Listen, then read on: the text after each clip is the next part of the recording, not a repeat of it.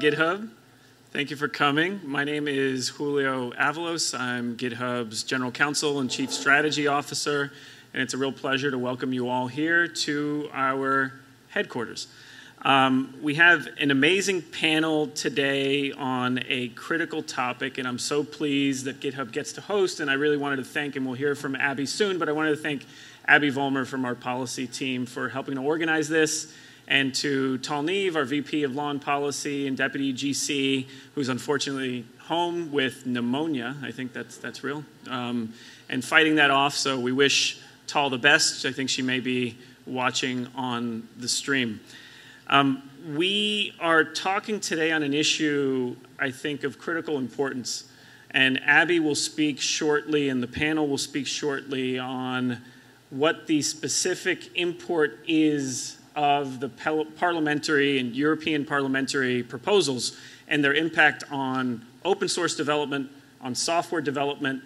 But I wanted to take a step back and really frame for us how I've been thinking about these issues, and even the fact that we're sitting here in San Francisco about to engage and discuss and analyze parliamentary proposals and debates happening within the European Union is, in and of itself, significant. And I think it's significant for a number of different reasons. Number one, and I think it's an important one to take note of, even in an age where we are increasingly told of the death of globalization, the pullback and reentrenchment that we see from an administrative perspective here within the States and in other nationalities and other jurisdictions around the world, I think that it's a reminder that if all politics is often said to be local, all policy in the 21st century, and increasingly and certainly policy in an online and internet context, is almost by definition immediately global, and that these are issues that we cannot afford to ignore.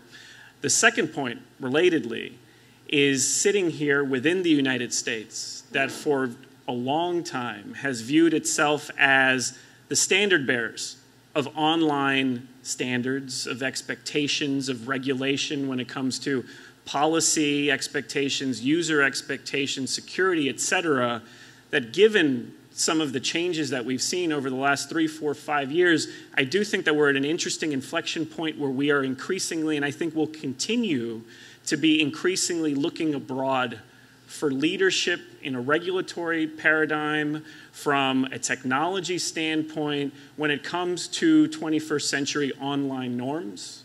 I know that in my practice previously as, as an attorney and litigator for social media companies, for Facebook, et cetera, where we assumed that as the in-house counsel that we were creating the law, that we were creating in some way quasi parliamentary and legislative frameworks that were going to hold true across our borders and around the world, that that is increasingly not the case. And that that combination between, I think, an opinionated European Union, European Commission, the Article 13 working groups, et cetera, that have been going on, these conversations have been going on for decade or more at this point, that that voice is an increasingly powerful voice that American technology companies and American online users and a global online community cannot afford to ignore. And I think that while we've had some issues and we're here to discuss issues that we've had with some of the specific proposals before the European Union and that have come out of these working groups in the committee, at the same time, I want to thank those groups and those bodies for their leadership, I think, and their indefatigable opinions when it comes to privacy, when it comes to user expectations, when it comes to a more meaningful role for legislative bodies within these conversations that we have about online norms and online life. And finally, and I'll close on this point, tonight's conversation for me, I, I think, highlights the limitations as well as the opportunities in 21st century advocacy and 21st century regulation and policy making, particularly as it relates to the internet. We talk a lot internally here at GitHub about the 20th century being a period of disjunction. Your consumer or your business. You're in a business to make a profit or you're into a business to try and make a positive impact. I'm cloud, and we've carried over a lot of this disjunctive either or thinking into the 21st century and how we think, particularly about, the, about online life and about our use of software, where your enterprise or your SaaS, your consumer or your enterprise, it's the nation state or it's public, your private or public, your education or capitalistic. All of these lines, I think, in this kind of nearing the quarter mark of this new century, we've started to see that a, a, frame of the 21st century that is increasingly conjunctive, where it's not a matter of either or or, but a matter of and. The United States and Europe, public sector and private sector, education, academia, and for profit enterprises, and that it's only through this plurality of voices. And maybe most fundamentally, I think that that's part of what GitHub's objections or feedback has been for the proposals that are currently being looked at, debated, and voted on is perhaps a lack of attention to the human being, the developer, at the center of this technology. The industry, software, Silicon Valley is properly criticized, and I criticize it frequently, for an over infatuation on growth for the sake of growth automation for the sake of automation and disruption for the sake of disruption as if these things were somehow utilities in and of themselves disconnected from the human beings that are ultimately using these technologies and that ultimately should be benefiting from these technologies. And that most fundamentally, I think that if GitHub is about anything, it's about that developer, it's about that human being, and putting ourselves in the position of reifying the abstract and how these policies are actually going to have unintended consequences to the creators, to the innovators, to the entrepreneurs that are currently out building tomorrow and building the future of the technologies that we will be using. In, and to illustrate that point, I was thinking uh, as I was preparing for tonight, back in 2015, at a particularly frothy point in the Hillary Clinton email server scandal, Lindsey Graham, I remember watching, it was on Meet the Press. Chuck Todd asked Lindsey Graham, senator, uh, senator, longtime senator, whether he himself was afraid of his email being hacked or his email being leaked. And his very nonchalant, kind of sang-froid response was, no, not at all. And when Chuck Todd pushed him and said, well, how, how come you're not afraid of that? He responded, well, I've never used it. I've never written an email, right? And that for me, dealing with hundreds of emails every day for most of my adult life, was a really startling admission. And yet, if we fast forward three years almost to the day, to Lindsey Graham questioning Mark Zuckerberg during the Zuckerberg Facebook Cambridge Analytica hearings, was exorciated, taken to task, and mocked for asking Zuckerberg whether Facebook would join with him and Congress in developing a path forward and regulation to try and contain these issues. And to my thinking, not only was that not something to be mocked, it's exactly one of the inroads and paths that we should be following. Again, is this pairing. I don't want someone that's never used email to be controlling what the future of the internet looks like or what the regulation looks like. These things, again, have to be partnerships between public, private, education, for profits, nonprofits, and ultimately with the human beings that are ultimately using these services, whose data ends up floating around the, the internet and all types of places. How do we represent that voice in these conversations? And I think that ultimately that's all that GitHub has wanted to do, whether in this policy debate or other policy debates like it. And without further ado, I'm very excited about the talk and thank everyone again for coming. I'll turn it over to Abby Vollmer from our policy team. Thank you very much.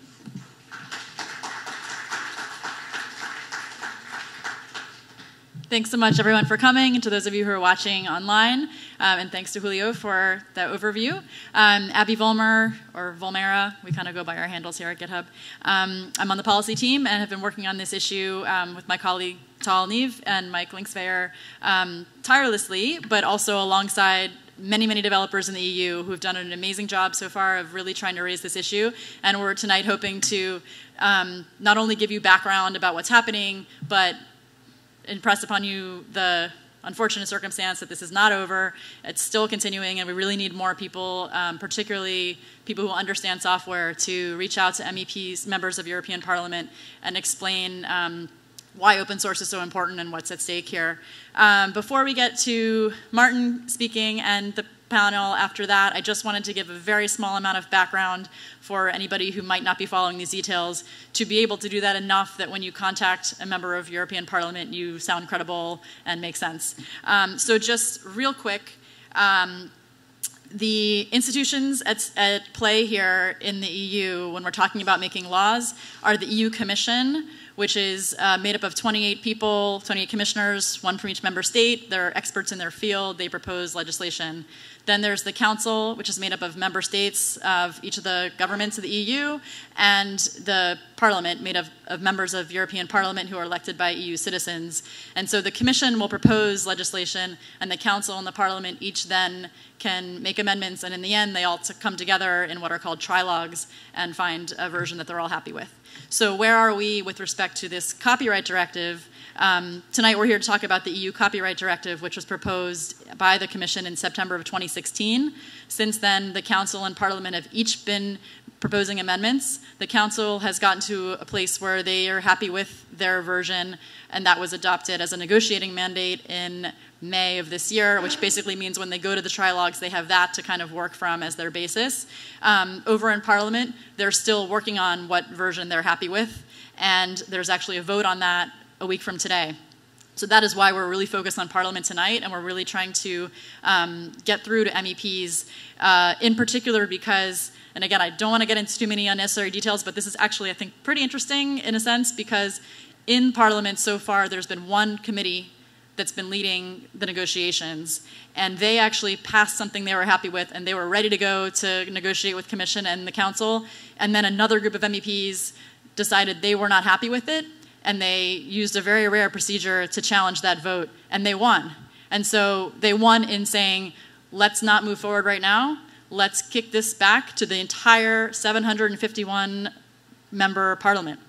So that's where we are now. We have 700 plus people who have, many of them probably happily been ignoring this because they know that this other committee has been handling it.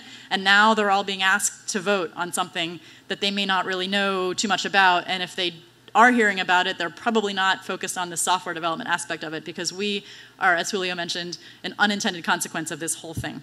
So, um, what is this whole thing?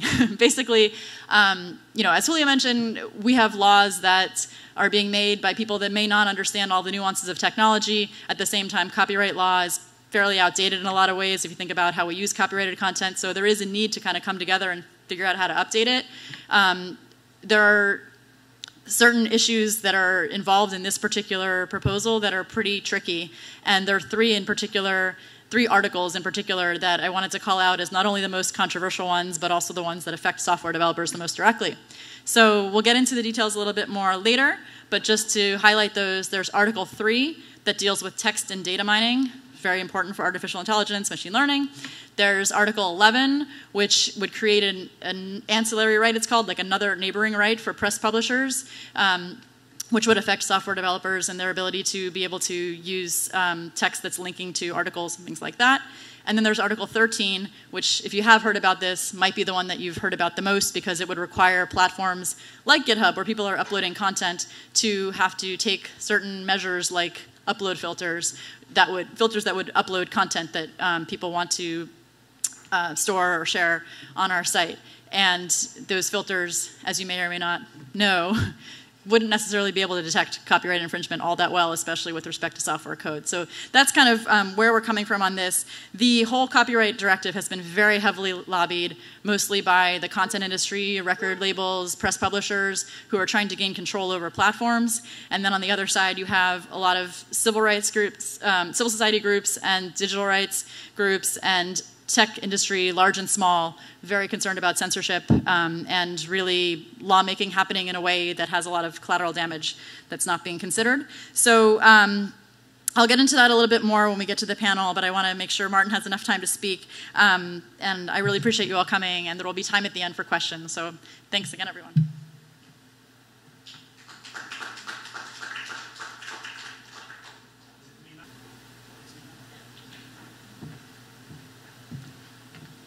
Good evening, everybody. I'm Mårten Mickos, CEO of HackerOne, uh, formerly CEO of MySQL, the largest open source company to ever have come out of Europe. So I guess that's, that's why I'm invited here. We, we live in the best of times. And day to day, and when you look at policy and society, you may not think so, but we actually live in the best of times. We are shifting this whole civilization from a physical one to a digital one.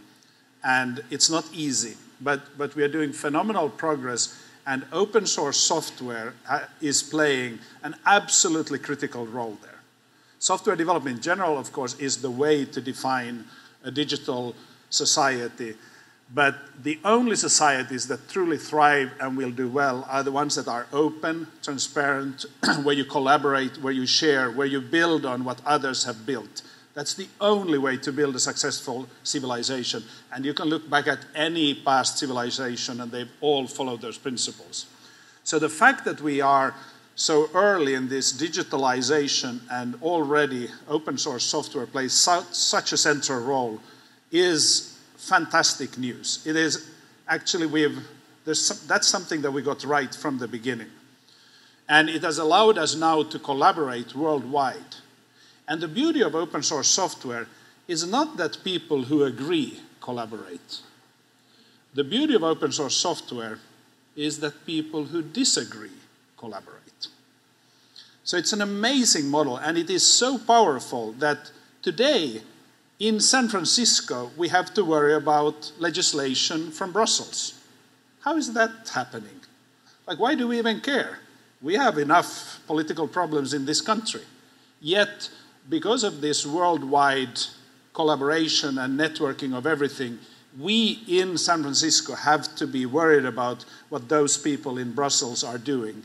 And we have to bring together all of our friends and people and encourage everybody to stand up and defend the right principles the principles of freedom, freedom of speech, freedom of expression, freedom of collaboration, freedom of modification of something that somebody else has built.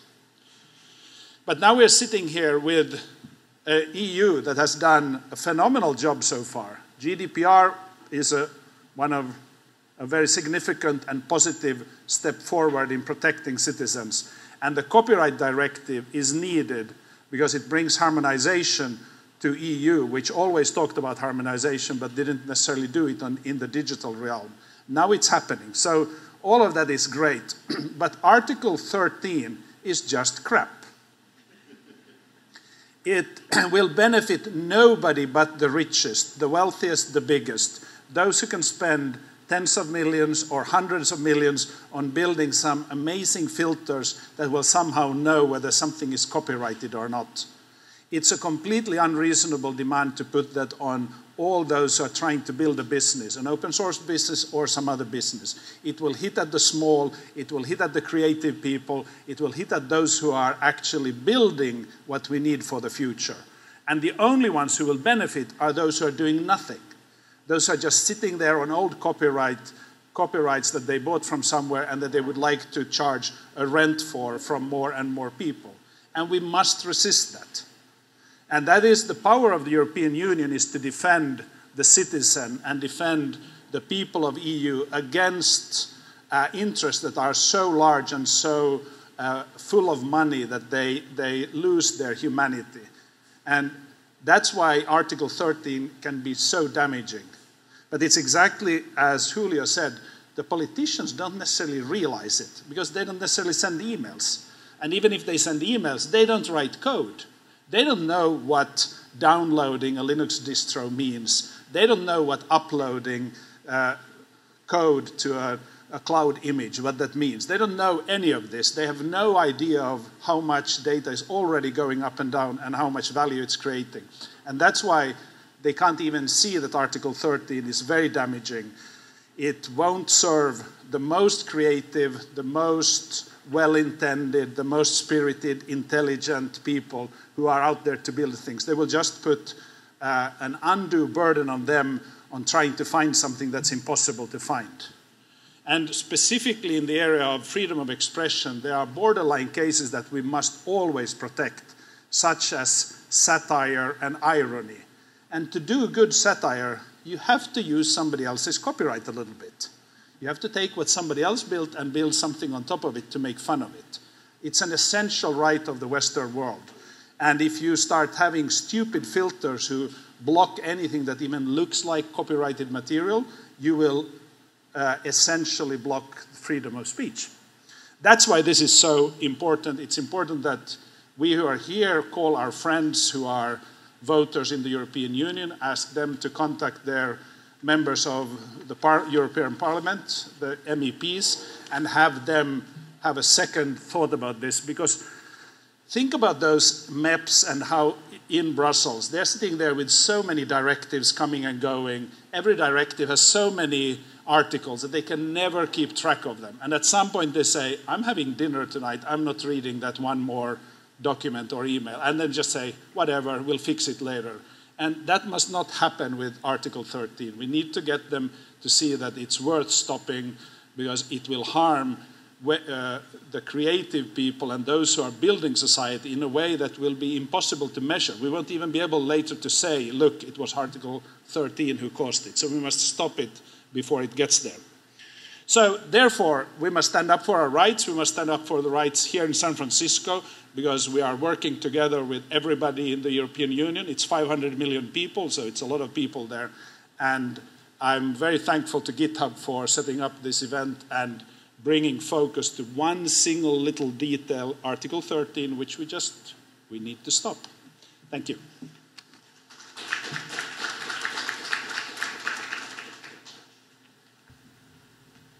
Thanks so much, Mårten. Uh, I'll invite the panelists to come up on the stage now. Um, and just to say, as they are coming up here, um, this is the first event that GitHub has done that is a policy-focused event for developers.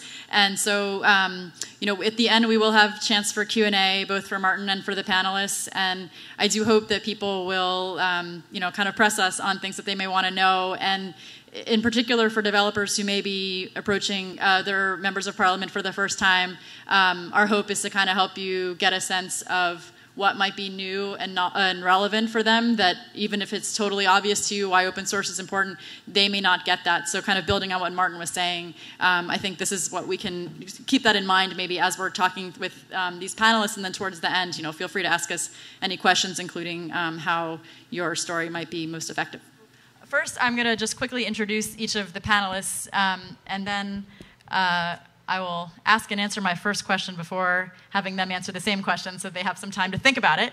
Um, this is Danny O'Brien, the International Director at the Electronic Frontier Foundation, EFF. This is Jessica Ashooh, who is the Director of Policy at Reddit. And this is Jan Gerlach, who is the Senior Public Policy Manager at the Wikimedia Foundation. So, um, in getting this group of people together on stage, one thing that Reddit and Wikimedia and GitHub, GitHub all have in common is that we are platforms where our users are uploading content onto our sites, and they need to be able to do that to use our services. And we're all very dependent on open source. So, for us, looking at this directive, there are some commonality in the issues that we face. And then we have EFF, which is both expert and watchdog on uh, digital activists, digital rights issues. And so this conversation is sort of kind of touching on all of that. Um, and I'll ask questions. The first question I will ask to everybody, and then from then on, I will probably just pick one person to start. And if anybody wants to add, then please do. Uh, and at the end, we'll have the Q&A. So my first question is quite general, but I think important for everybody to know what are your concerns, your users' concerns about this proposal.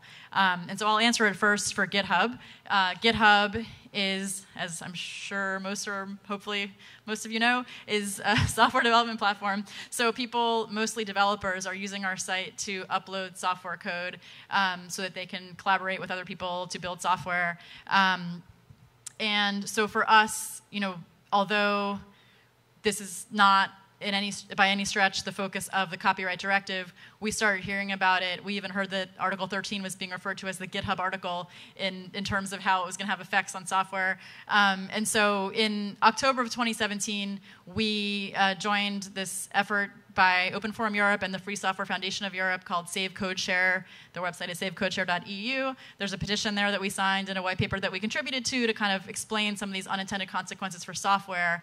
Um, but as we realized that there were not so many people speaking up about software specifically, we decided to go to Brussels and meet with other organizations, companies that were affected by this and talk to policymakers directly.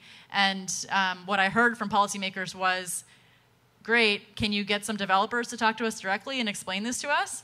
So we said, okay, um, we'll do that. So we wrote a blog post with a call to action to developers in the EU, um, really explaining to them that this about this proposal that it would require upload filters, why upload filters are ineffective for detecting copyright infringement, particularly for software code, why this is a concern from the perspective of privacy, given that it's a form of surveillance, why it's a concern from freedom of expression, because you know, all of a sudden de- dependencies may disappear, meaning that you're, whatever you're trying to build may no longer work. Um, and so this was pretty easy for I think a lot of developers to relate to, and we got a great response. A lot of people writing to us very emphatically, like open source is my life. This is like the basis of my research, the basis of my work. The EU is funding my work. All these sorts of stories, and so we said, please, like here are the people to contact, tell them this.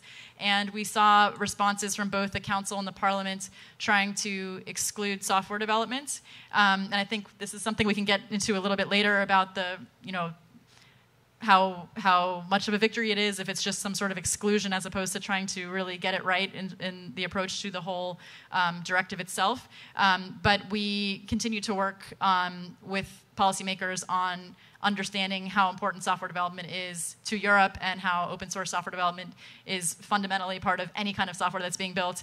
Um, and, and that is all quite new to a lot of people that we've spoken with. So I think in you know working hand in hand with developers directly, we've we've been trying to get this message across to kind of explain the concerns that we see um, for software development.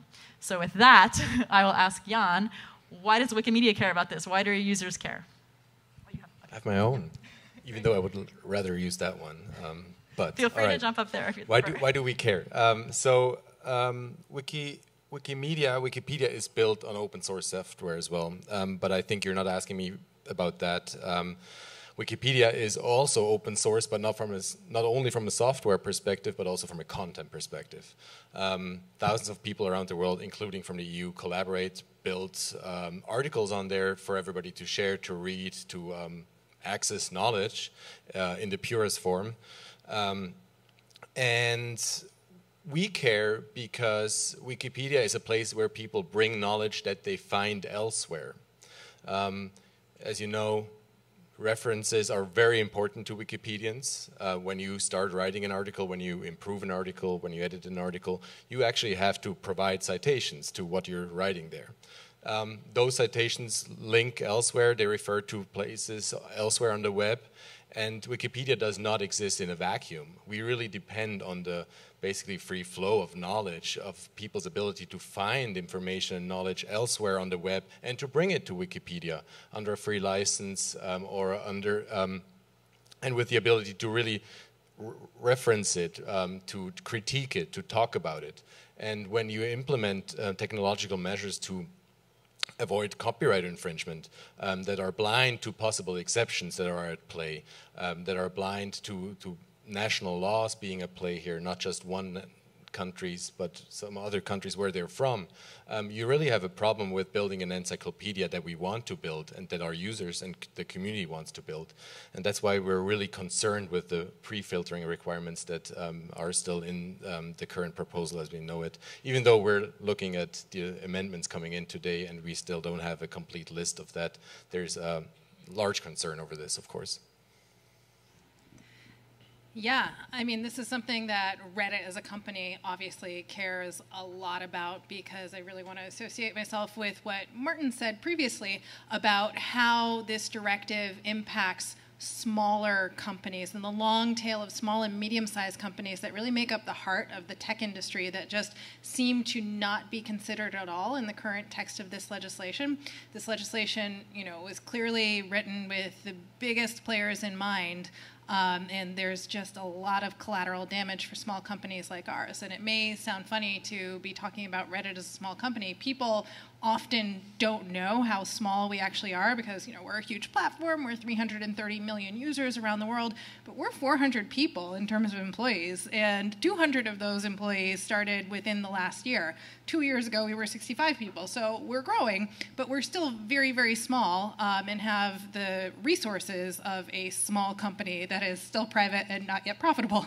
Um, and so when we look at some of the requirements particularly article 13 there's just there's I don't I really as the head of policy don't know what we would do because we do not have the resources to comply with that. We don't have the technological resources to impose the types of filters that would be required for us to avoid um, liability with potentially enormous um, monetary fines. Um, so I'm hoping it will not come to that because truly I don't know what smaller companies like ours would do. And at a time um, when people on both sides of the Atlantic are talking about whether the largest players are too big or whether they have a monopoly, it strikes me as really um, troublesome that we would be considering a, a, piece of legislation now that would do nothing other than cement the largest players in their preeminent position right now and make it smaller for harder for, harder for smaller companies to compete.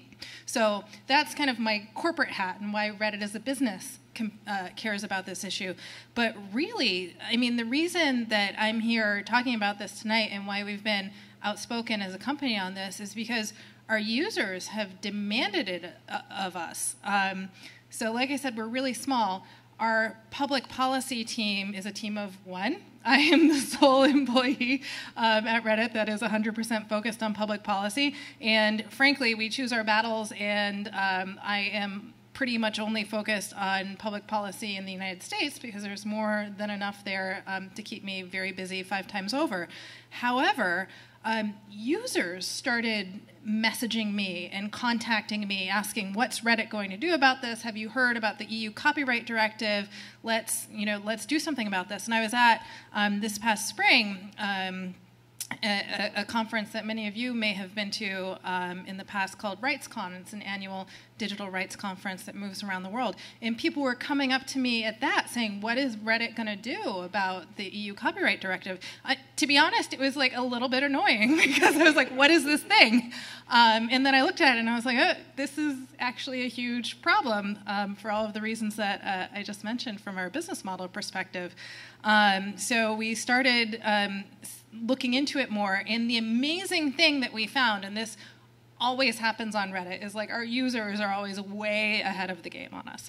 Um, so I was poking around in our r slash Europe community, and of course they have been spectacular on this issue. If you go into r slash Europe, um, they have sticky posts from their moderators on these issues, breaking out, you know, in incredible detail how the European Parliament works and where we are in the process. They hosted an AMA with Julia Reda, who is um, an MEP who's been incredibly active and, and constructive on this issue. So um, we are once again being led by our users, and I'm, I'm very happy to be in that position, particularly because our users are so sophisticated on this. If you go in, um, the conversation is extremely nuanced. They really take in um, all sides of this debate and get to the heart of why it matters. And um, Redditors, as as, a, as creatures are really concerned about the open internet writ large. So this isn't just about EU copyright directive. Like you can go back in our history and look at their activism on SOPA and PIPA, for example. Um, they really, really care about the open internet, and so um, I think that any um, proponents of this copyright directive who are trying to dismiss the opposition as mere kind of Google lobbying are really misinterpreting what's going on, and they're doing so at their own peril because these people really care, and this is real grassroots activism. What was the question again? No, I. Um, so uh, um, I'm, I'm I'm, I'm, from the Electronic Frontier Foundation, and um, we've been concerned about this for um, a, a, long while. Um, and really, we've been concerned about it at a slightly uh, meta level to this because um, we really we really feel that, that laws like this are, are an ex- existential threat to the, the, the, internet. And I know that sounds a sort of somewhat um, forced uh, uh, idea, but the reason why we always think of this is because we, the internet has faced these kind of battles previously, and we've, we've dodged several bullets. Uh, one of the first reactions when we were trying to draw attention to um, Article 13 in particular was people genuinely saying, well, I don't understand why would a copyright law have such a bad effect on the internet? And it's, a, it's an understandable question to have, but the truth is, is for the last 20 years or so, it's been copyright and concerns about copyright that have caused the biggest sort of regulatory challenges for the internet and for digital communications in general. And because that's such a sort of uh, existential fight um, that goes on around the internet, it's not surprising when people attempt to um, uh, uh, change the balance or try and uh, fix or resolve this problem, that it has these knock on effects with very key, pivotal um, websites and services that the internet uses. I mean, I see here um, uh, several classes of the sort of things that the internet and digital communication empowers open source development, open collaboration, open communication. But powerful and important as these, these organizations are, of course, they, they represent a much wider and larger set of, of activity and behavior. So, uh, in the past, I, I, at my time at EFF, I've dealt with SOPA PIPA, but before SOPA PIPA, we had to deal with ideas that in these days seem absolutely crazy. So there was a proposal not so long ago um, in the US that there would be a, basically a copyright filter in your computer or, or your, your phone, but people didn't think about smartphones at that point. What the idea was is that they would put a, a, a chip that would recognize um, copyrighted material and automatically stop you from, from, from doing anything with that. And at the time we said, look, this is, this is ridiculous. It won't work. Um, this, is, this is a bad idea. Uh, and, and these things carry on almost to the end before somebody realizes that this is impossible stroke terrible. Um, same with Sopa PIPA. Sopa PIPA kind of fell at the last hurdle and ACTA along with it because there's this strange mix, I think, with technologists where you can't believe something like this, something so ridiculous and impractical, could actually get this far. That eventually a grown up would come into the room and go, This won't work and eventually people realize that you have to be the grown-up right? You're, you're going to be the expert in the room that comes in and tells these people that this is a, this is a ridiculous this is a crap idea in the in the strong words of our, uh, our keynote speaker. Um, but this generally happens around copyright. And I think I'll just, I'll just pin down one particular thing that you will notice in this discussion, and you will notice in the law itself that one of the, the ways the upload filters are described and the class of services that will be affected um, is they say, well, all this will affect is sites that upload, that let their users upload copyrighted material and then share it. And what that means to a lawyer writing it is pirates, right? Evil, evil pirates who are taking films and then not only just watching it like God fearing users should, but then uploading it to the, the, the devil's cloud. And, um, and, and anybody who has mixed with both either coding and you've had to write your license or copy your license or just thought for a moment about how the copyright law interacts with this will realize that everything is copyrighted. Everything has been copyrighted for many, many years now, since the 70s. You don't have to sit there meticulously putting a C and then trying to work out what the Unicode is for putting a circle around it, right? It's all copyrighted. I had to sign a thing today saying I will grant GitHub a license to use my copyrighted material. why? Because I could go, you copied my face and the things I said. That's evil.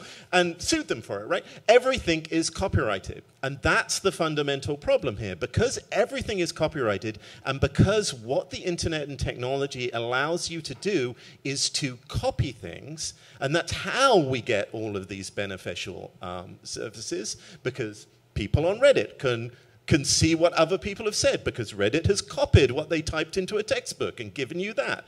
And they uploaded that copyrighted content. Because everything is copyrighted in that way, if you change the copyright law, it throws this spanner into absolutely everything. There was a time when the laws, it was proposed that, that there was a long debate, let me say that, about whether caching should be exempted from copyright laws caching. So that was basically, couldn't, is, is it okay if RAM is legal? Uh, can we allow that? Can we allow swap files to be legal? I'm not so sure about this. What if they go swap file crazy and swap something that Disney owns?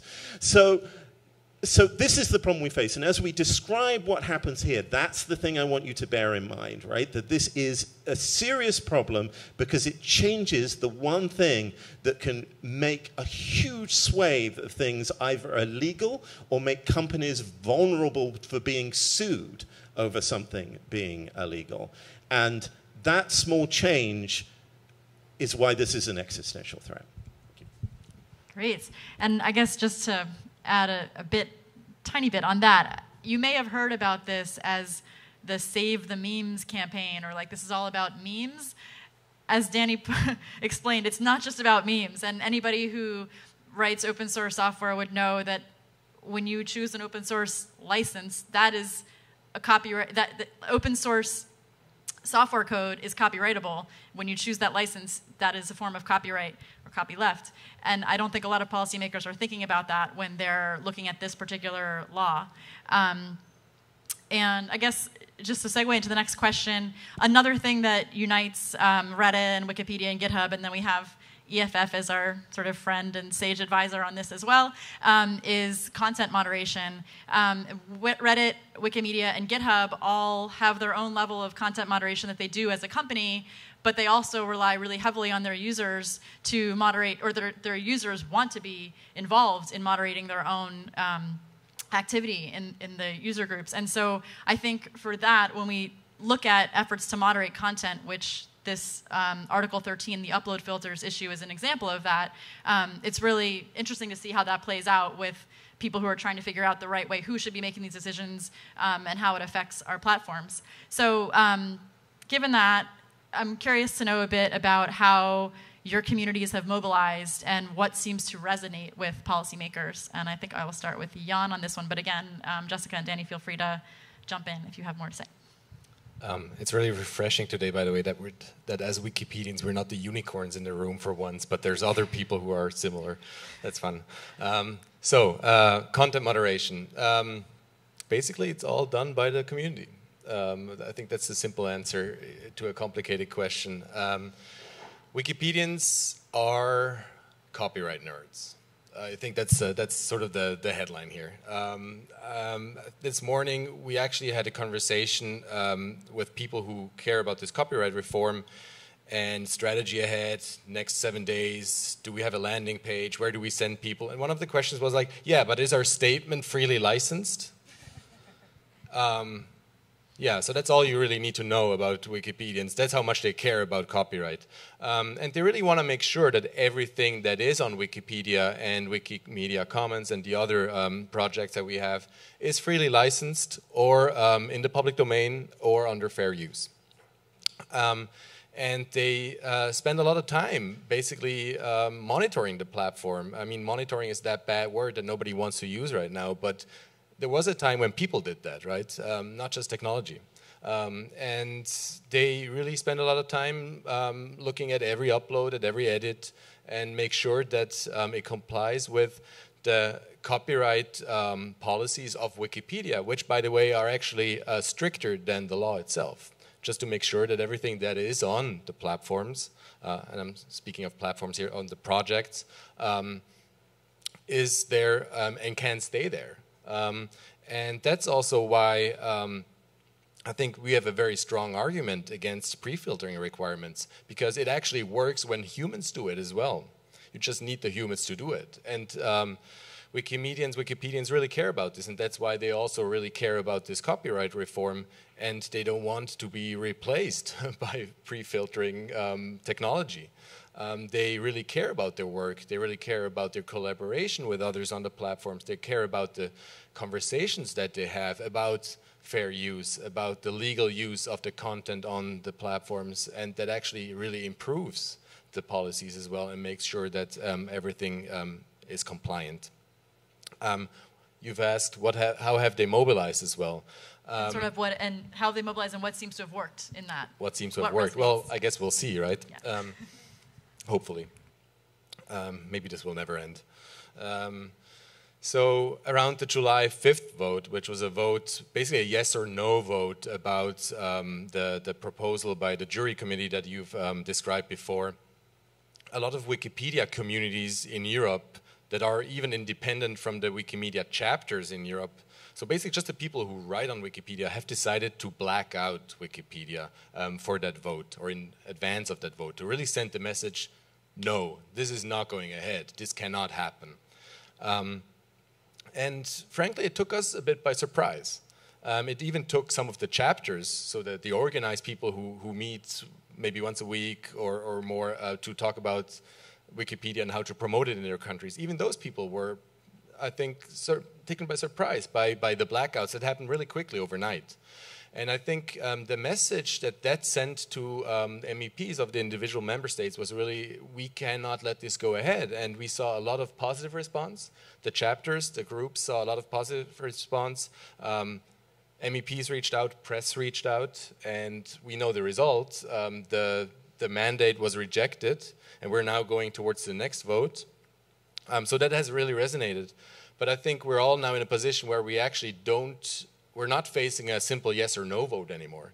Um, what is on the table is, is really sort of a, a, a nuanced vision for the internet. What do we want? What can we what can we have and, and how do we how do we make use of the best of times? I'm, I'm not I'm not as optimistic I think as Mårten and, but it is a good time. And and there's a great opportunity ahead to really modernize internet and really fix copyright. Basically that's our URL of the landing page we're building. Um, fixcopyright.wikimedia.org um, go there tomorrow. Um, thank you. Um, but yeah, so the opportunity is actually great. We're not only like talking about Article 13, we are right now, but we shouldn't be. There's um, so much in there. There's text and data mining exceptions.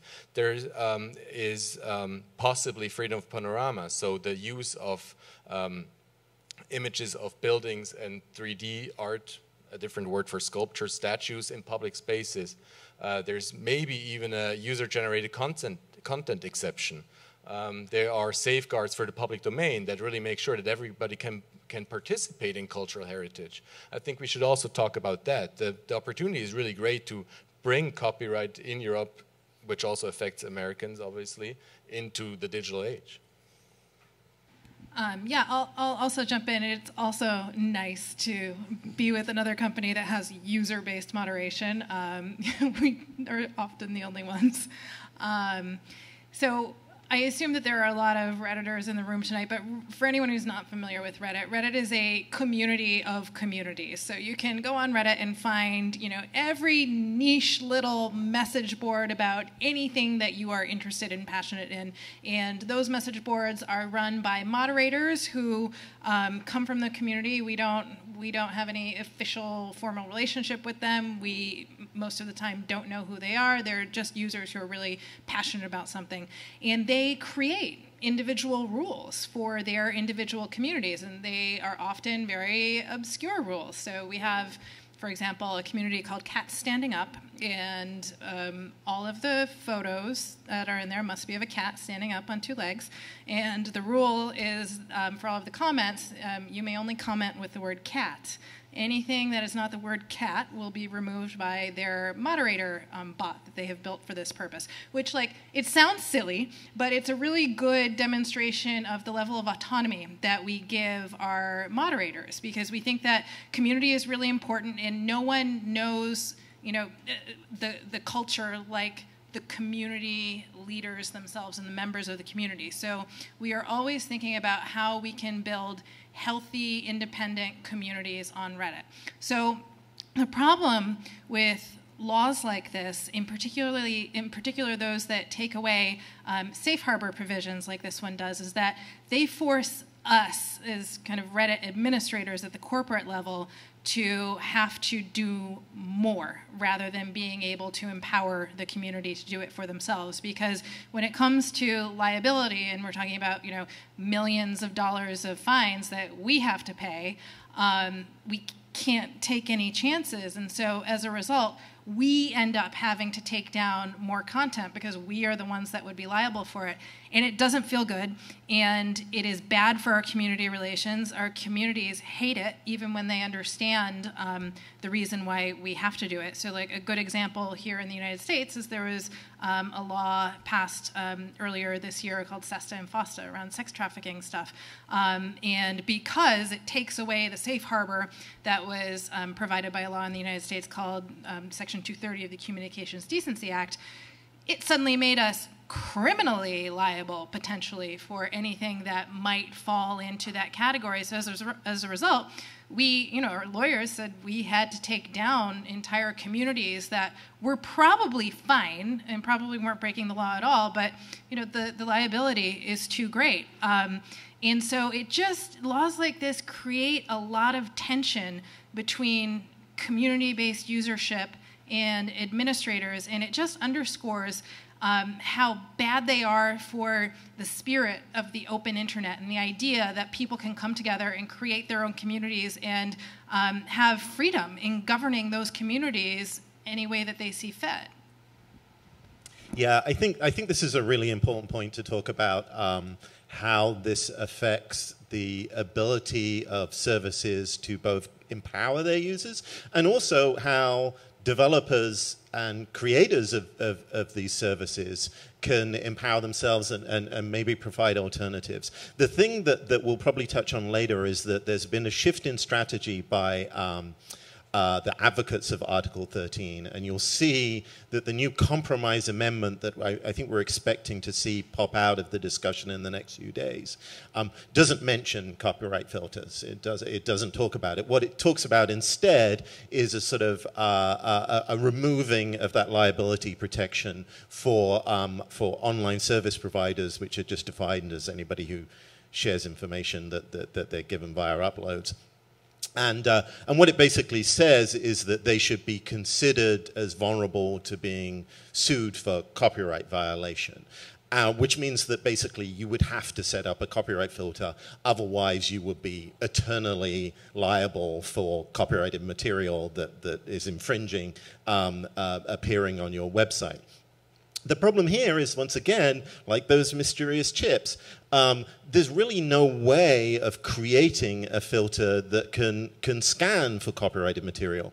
I mean, first of all, as I said previously, that's everything, so you could create a filter that just didn't allow anybody to upload anything. What you're really looking for is infringing material, which is to say material that someone else who is not the uploader um, uh, uh, uh, created.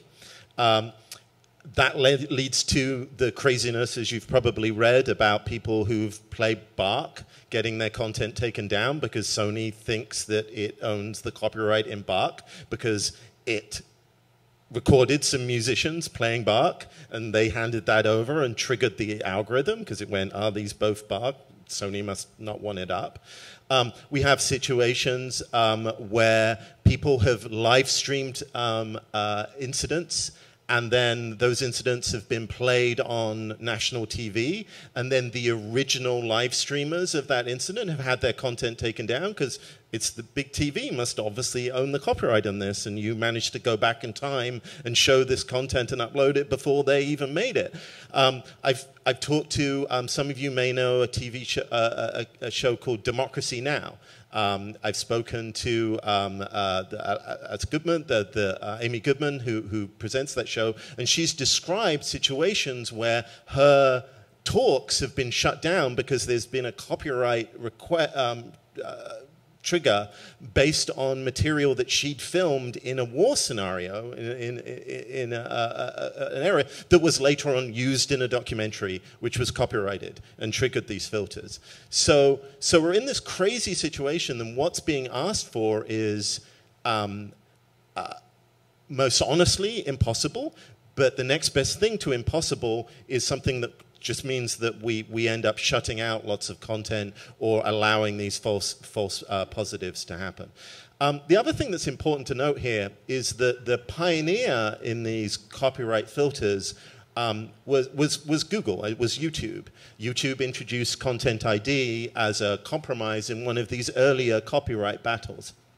And we've documented ever since copyright um, uh, uh um, Content ID first emerged what a disproportionate effect that has on users. As you've noticed in the previous examples I've given, it's always like a big rights holder being able to exert this control over small rights holder. And that's because the big rights holders are the people who have a vested interest in feeding their materials in to the algorithm. But the other side of it is, is that um, people can use this as a, as a weapon. Um, I've been dealing with a case of the Ecuadorian government. The Ecuadorian government for many months employed a Spanish company to use copyright takedown requests to uh, remove any criticism of uh, the Ecuadorian president from opposition media on, on YouTube uh, by claiming copyright in pictures and video of the Ecuadorian president. Um, which points to the other problem, right? Even that may be true, right? The Ecuadorian president, film of the Ecuadorian president may be copyrighted by the official Ecuadorian state presidency, but we have fair use. And fair use allows us to critique and appraise material. Uh, even if it's copyrighted material. Copyright is not a, a universal um, trump card to play about content. You can, there are exceptions and limitations to it. But there's no way that we can program those exceptions and limitations into an algorithm. I mean, coping with VAT is bad enough, right? If you've ever built a commerce site, right? This is talking about the spirit of the material and the way that was intended, right? This is why it affects memes, right? No one would ever claim that memes weren't um, a, a, fair use of the original content material. If you look at all the, the factors that govern fair use in the United States, at least, they, they would get through. But if you looked at them as an algorithm would and just basically comparing these things and looking to see whether they're the same, um, they, would, they would trigger a false positive. It, it makes total sense. And that's why we have laws instead of algorithms. Laws have subtlety to them. They have ambiguities to them, much as it drives, you know, geeks like me absolutely crazy. There are, but that ambiguity is there for a reason. And the reason is so we can, we, we can have these discussions about what's right and what's wrong, that we can have content moderation where people could go, you know what, I, I think that was a legitimate thing to put up. And we're having an ongoing discussion about that right now. If you make it illegal or make some, a, a company or even an individual person liable to an ambiguous decision that they're then expected to create a program to implement, that just means that everyone will run screaming out of the room. No one will accept that level of liability, and everyone will be able to scare everybody else off by going, you know what, you're going to be in a lot of trouble if you write that program because everyone will try and sue you. My, one more point. My biggest concern is not just about the people here today. My biggest concern is actually about the future of the internet. So I've been spending a lot of time on Mastodon. Mastodon is a great, interesting experiment in an alternative to Twitter. Um, and, uh, and potentially other sites, right? It's got an open protocol. It, it, it's, it's an interesting experiment. Um, it has thousands of users, thousands of users in Europe. That means that suddenly Mastodon uh, administrators, who basically do this in the spare time, will be vulnerable to this kind of law. That's an alternative to the Googles and the Facebooks of the world, and it's a European developed alternative. And this Article 13 would make that and its users liable. So that's the content moderation part of it that I'm concerned about. Well, that's great. My next question is actually about the future, but I also, because you mentioned the words fair use, um, I did want to mention one thing. Uh, we've been talking a lot about Article 13 of the Copyright Directive, um, and obviously, as you mentioned, filters don't necessarily know how to detect fair use. But fair use is, and you mentioned that it's an only US concept. So fair use doesn't exist in the EU, and that actually is significant also when you think about Article 3, which uh, deals with text and data mining. And right now, what the proposal says is that the exception to copyright for text and data mining is only limited, is only allowed for um, research organizations doing it for scientific purposes on a non-for-profit basis. So that is extremely limiting. Um, and when you think about the fact that fair use does exist here, um, developers who are mining content, you know, doing machine learning, et cetera, probably don't have to worry about it so much because we have fair use.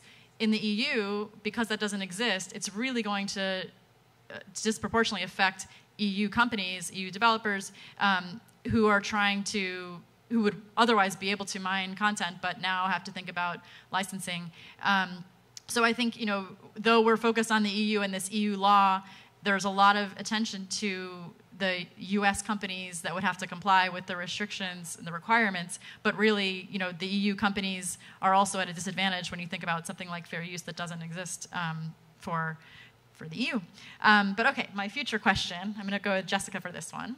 Imagine this proposal passes. 10 years from now, how will this have affected the internet as we know it, and how will history look back on this moment?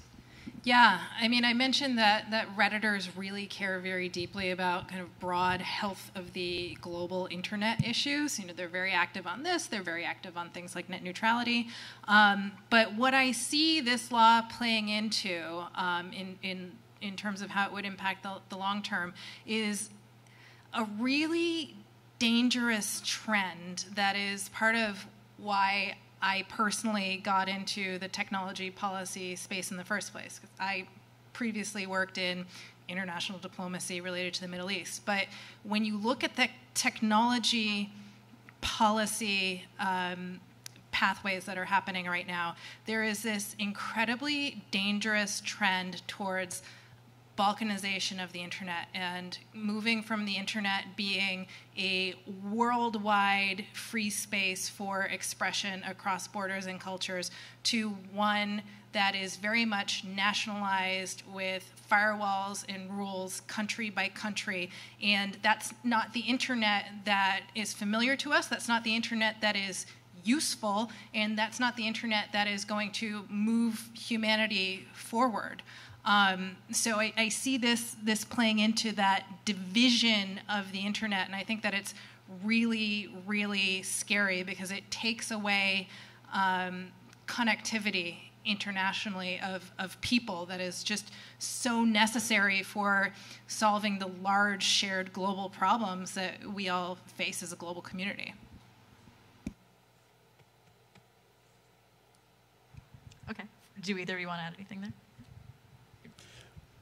War, pestilence. No, um, I, I, think I, I think that some of you may know about the DMCA, and the DMCA is sort of interesting because it's an American copyright law um, that has sort of been exported to the rest of the world.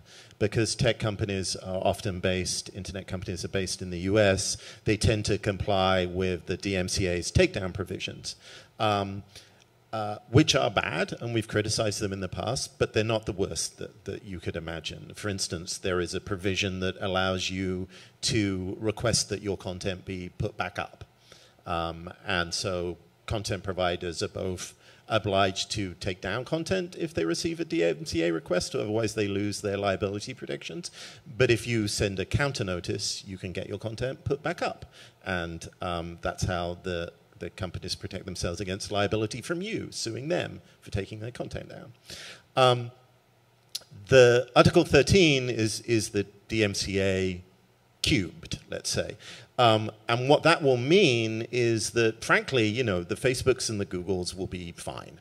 Um, uh, in fact, I think this probably cements their place at the top of this ladder because they will have a lot of money to create these filters. They may even be able to make some money selling the filters that they've already built to other people. Um, Apple is just in the middle of buying um, a, a, major sort of uh, um, uh, music analysis um, company. So if that goes through, Apple will get to license that. And maybe if Apple doesn't like your business model, they won't license that to you, opening you up for liability. Um, so they'll be fine. You can expect those logos to be on your computer in 10 years' time if Article 13 passes. Few things will, other things will happen. There will be a lot of projects that start and then die very quickly. There will be a lot of services that open up, get so big, big enough that they begin to be an attractive liability target to be sued and then go down again.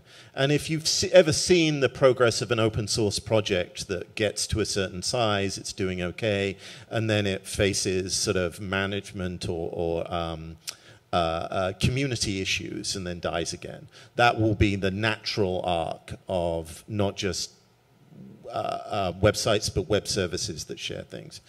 I think you're also going to see some interesting um, effects in Europe. Uh, the EU has gone through a sort of rough stage at the moment um, with, with um, um, it wasn't my fault, Brexit. Um, and, uh, but one of the things I've definitely noticed is that there's been a sort of restoring of faith in the EU. The EU has sort of striven to, to work harder and I think has a fairly good reputation in a lot of ways. And part of that reputation in the digital space space, I have to say, is probably part of the because of the GDPR. And people like the GDPR. Lots of people do. And, um, and they like it because it seems like, you know, a way of regulating a thing that they're worried about. If you have Article 13 start, lots and lots of websites are going to either shut down because they'll say we can't deal with this, or they're just going to ignore the law. Um, and either of those things is not good for the EU's reputation.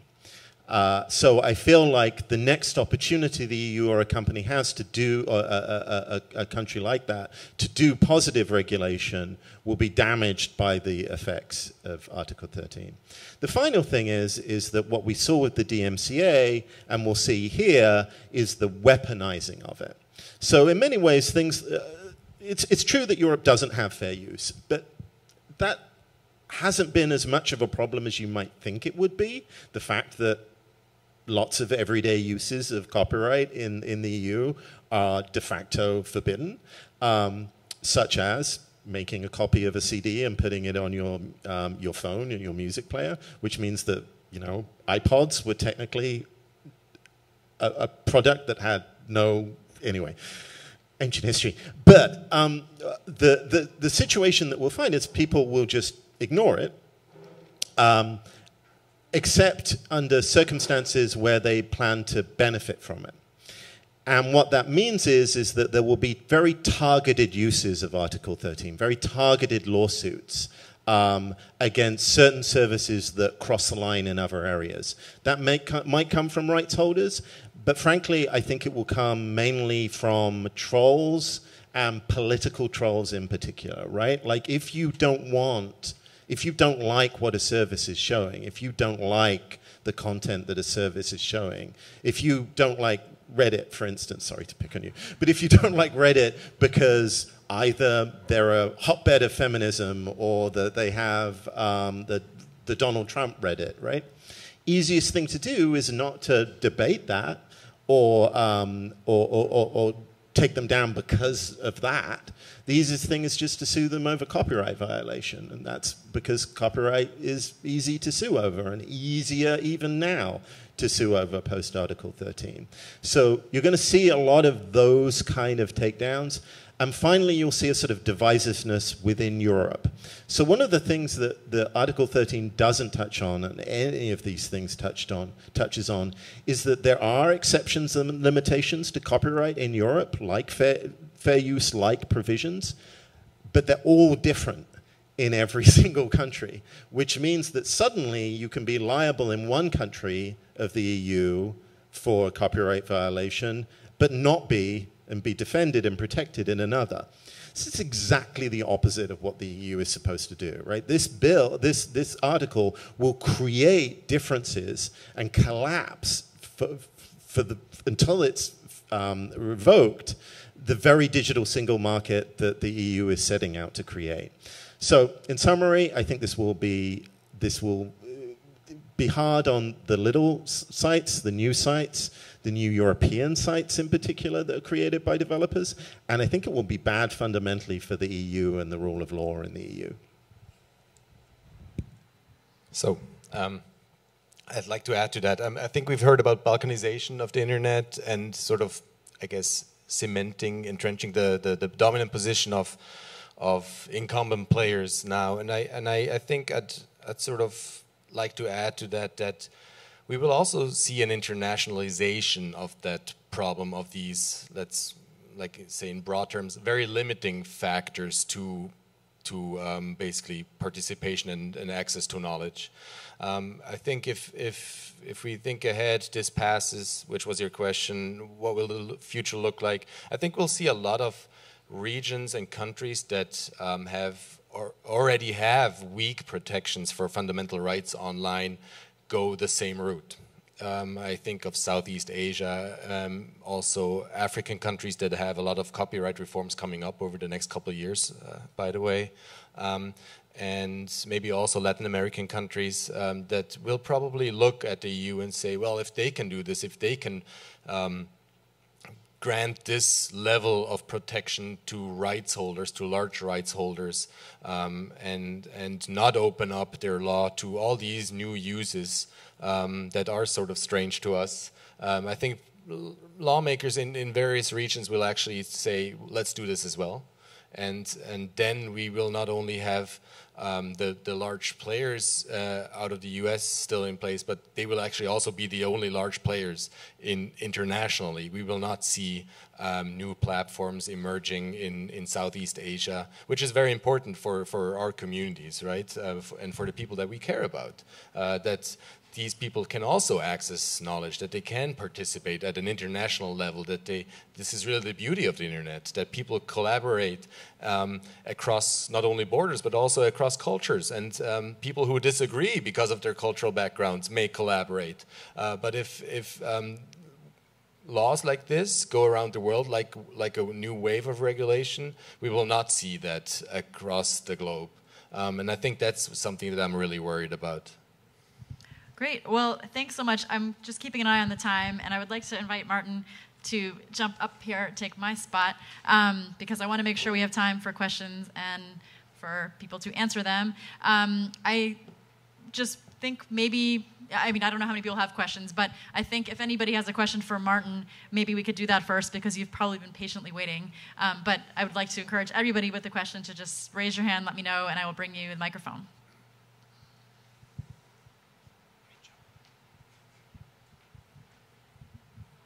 Uh, so like um, from a meta perspective, the regulators try to like, uh, in a sense, push bad code, and we always go like, "Hey, stop! It's not gonna work. You're you're ruining it. You're ruining innovation, etc." Um, so like, my question would be, um, what kind of like meta solutions do you envision, or do you entertain any ideas uh, that might be a solution? Any wild ideas, like? This keeps happening over and over again with different issues. This time copyright, net neutrality, blah, blah, blah. And I'm from Turkey, so like it's a whole another place with this. So like what kind of solutions do you envision that we might achieve in like five years, 10 years? Like what might it be? Like HackerOne for governance maybe? I think you're asking the question, what is the role of democracy? And and maybe I'm misreading your question, but there will always be honest mistakes by legislators, and they will always fix it a little bit when we take action. And it will never be perfect. And when it's perfect, it's not like we will go under. We are strong enough to survive, but life will be more unfair. And when life is unfair, uh, angry young people will do bad things. So so we must not let uh, legislation become unfair because it leads in the long term to weird side effects that we couldn't e expect. But we must always be ready to stand up for democracy, which means the decision making power of the people. And we will not, we don't deserve it unless we take it. Maybe that was not your question, but I think it is the answer. I, want to jump on that as well and talk about you know how how we approach this at Reddit. You know, we try and be very collaborative with lawmakers because I think I always try and approach them um, from the standpoint of understanding that they have good intentions. I think that it's really important to always assume that everyone has good intentions and that there is really an education gap um, that I can help fill. So I see a lot of my role in working with lawmakers in the United States and other places um, to teach them about how the internet works, how individual platforms work, how platforms are different from each other, and to think more broadly about the unintended consequences of what they, they write. Because um, I find number one, we'll get better laws that way, and number two, it's just better in general to have um, more collaboration between industry and, and lawmakers. Um, that said, every single lawmaker that I deal with would so much rather hear from you guys and constituents than you know someone like me who's like a paid corporate shill. Um, so anyone who's who's cynical about calling their member of Congress, calling their member of European Parliament, don't be because I found that they it really does matter um, and they really do appreciate hearing from informed constituencies who can teach them something.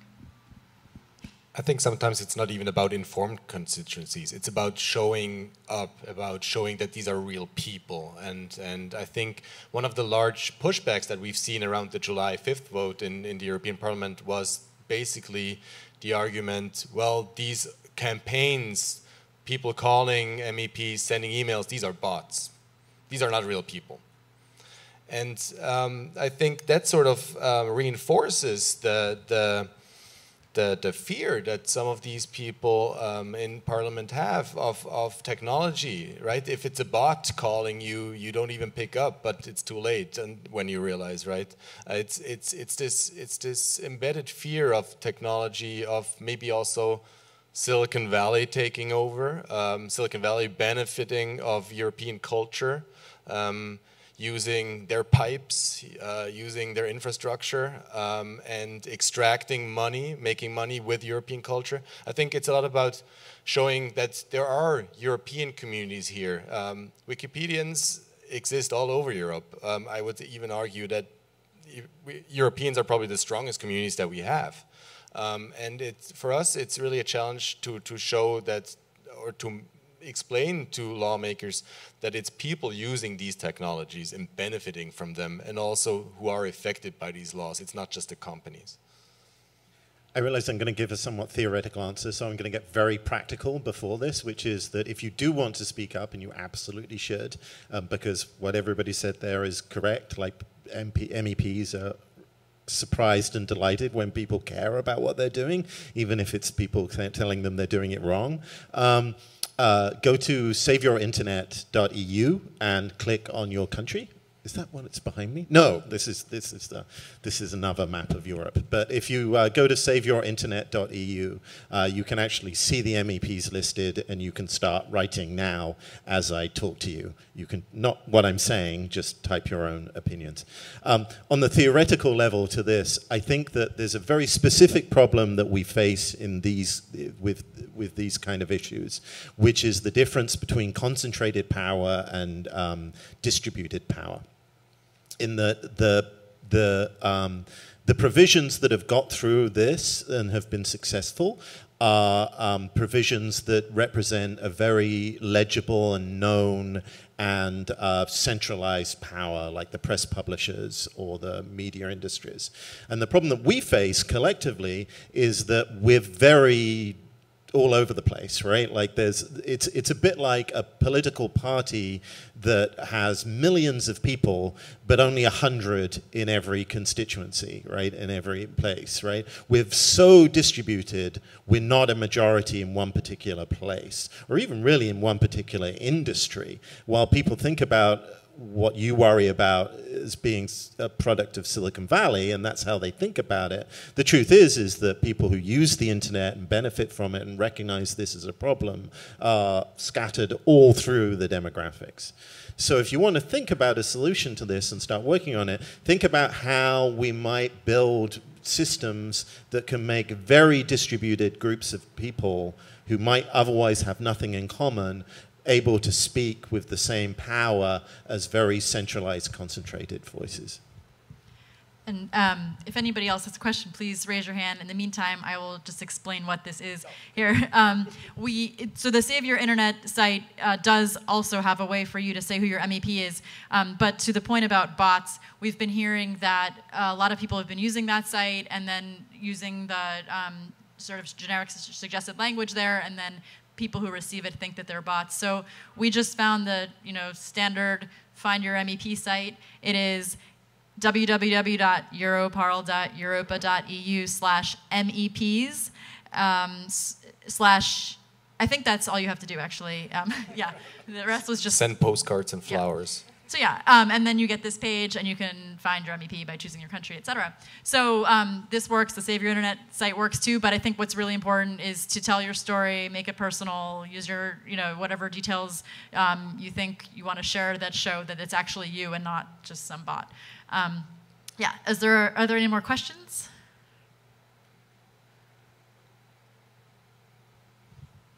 Anything else you guys would like to add? Great. Well, oh, go ahead. Well, so the vote is Just in a call. week. Uh, this is all I'm going to say is like call now because the vote is in a week. We're in this transitional stage where the MEPs literally don't know what they're going to do because none of the parties have decided what to do. Um, we won the last vote because MEPs just went, you know what, no one's telling me what to do, but all these constituents say this is a bad idea.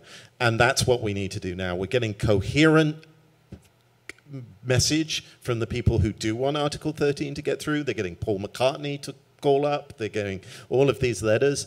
And you, the one power that we have is how many people are upset about this.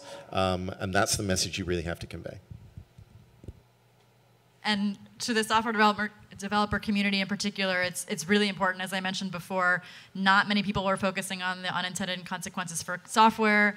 GitHub and a lot of individual developers and a lot of other organizations and companies have been in the recent months really trying to raise the concerns to policymakers, but a lot of them still don't really understand it or know how software development works. And as I mentioned before, we have 700 plus new MEPs that are now voting a week from today who, for, since for all of the time that the negotiations, negotiations have been going on, did not have to pay attention at all. So I think it's a lot for them to get up to speed on. And if you have a moment to just send a quick message to your MEPs and explain that you're very concerned about software development, we'd love you to do that. Um, GitHub has written a few blog posts. If you go to blog.github.com and click on the policy tab, we wrote one. The most recent one was August 24th, and it has links in that one to previous posts that also give you some sense of the broader issue, a lot of what we covered tonight, and hopefully um, more information that you need. But also feel free to reach out to policy at github.com. Um, we'd be happy to chat with you. Thanks so much. Did you go ahead, Danny? One more thing. Okay, so they will say to you, oh, don't worry, we got an exception for that.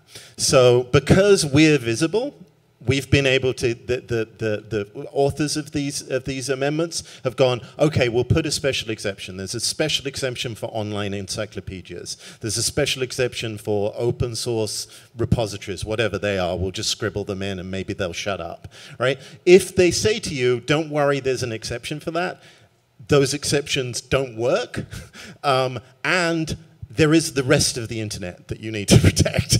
So please don't take that as an answer and say, no, this is still a problem. You still need to fix this. Thank you. Thanks, everyone.